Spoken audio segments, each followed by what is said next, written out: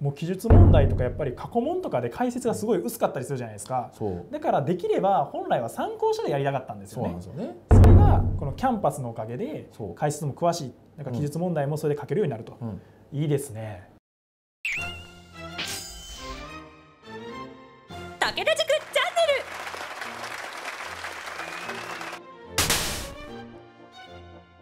久しぶりの企画なんですけど。何ですか？今日の企画は？あのー今日の一冊ってあの参考書紹介するやつあったじゃないですか。ありましたね。はい、はい。まあ、コメントでもねいろんなこの参考書紹介してくださいみたいなの来たりするんで、まあ、ちょっとせっかくなんでいろいろまたね新しく出てきた参考書とかどんどん紹介していこうと思うんですけおど。おニュー参考書が出てくるわけですね。そうですね。あのルートにないやつとかもねおお私で一冊ずつ紹介していきたいと思いますのでよろしくお願いします。お願いします。高田先生。はい。今回紹介する参考書は何ですか？今回紹介する参考書は、うん。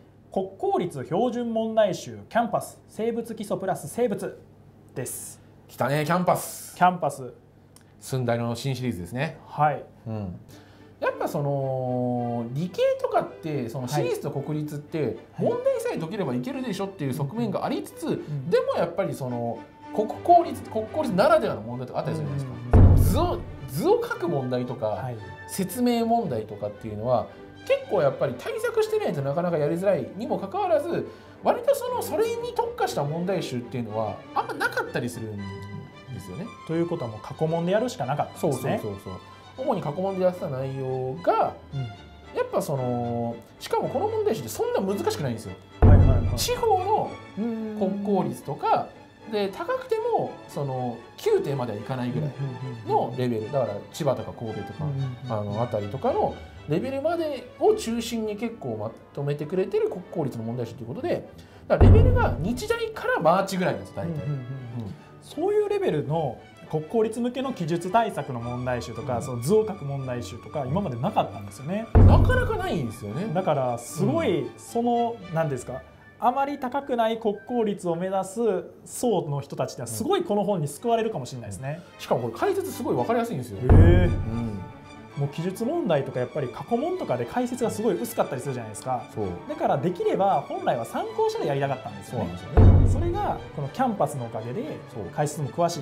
なんか記述問題もそれで書けるようになると、いいですね。はい、だからこれは別にその国立志望じゃないんだけどなって人にもやっといてほしいものではあるんですよね、結局総合力つくからね。このなるほど。レベルの問題が解けると。記述ができるようになると生物についての理解が深まるってことですね。だからそれこそもうね、あのまあ、国立志望だったらセンター終わったらすぐにこれやってほしいかなっていうセンター対策が一通り終わったらね、過去問とか実践問題集、まあ、トータル5年分から10年分ぐらいやって、まあ、センター一通り8割ぐらい安定するかなとか、まあ、とりあえず目標点に達して、まあ、あとやってきゃいけるかなぐらいになったらこれ手出して。なるほど。で一通りの問題をしっかりこなして解説、えー読み込んで自分なりの回答を書けるようにしてってみたいいいですね。うん。はい。よくわかりました。な。はい他まだ、うんはいありますか？はまあ、あのそれプラスこの上にさらに参考書があったりはするので、いはいはい。だからまああのあとは基礎問題成功とかね使う場合だとどうすりゃいいのってところもちょっと悩みどころかなとは思うんですけども、まあ、基礎問題成功とこれだったら正直どっちかでいいかなとも思うけどただ生物はそもそも参考書自体が結構少ないから、まあ、両方やってもいいんじゃないかなっていうふうには思います。その場合には基礎問題成功からやった方がいいかなとは思うけど、あの国立の形式が結構やっぱり難易度高いんでか書くこと自体がね。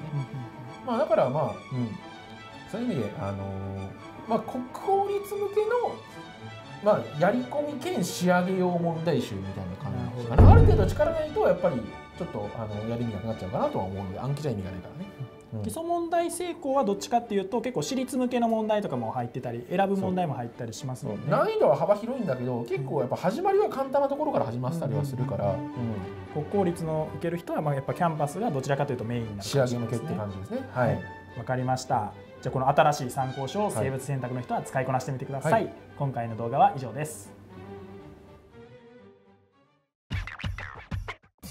大学別対策動画で、え扱っている大学のカリキュラム、え実は、え最寄りの武田塾でもらえます、え全国の武田塾で、えー配布イベントをやっておりますのでよかったら、え最寄りの武田塾にご相談ください。よろしくお願いします。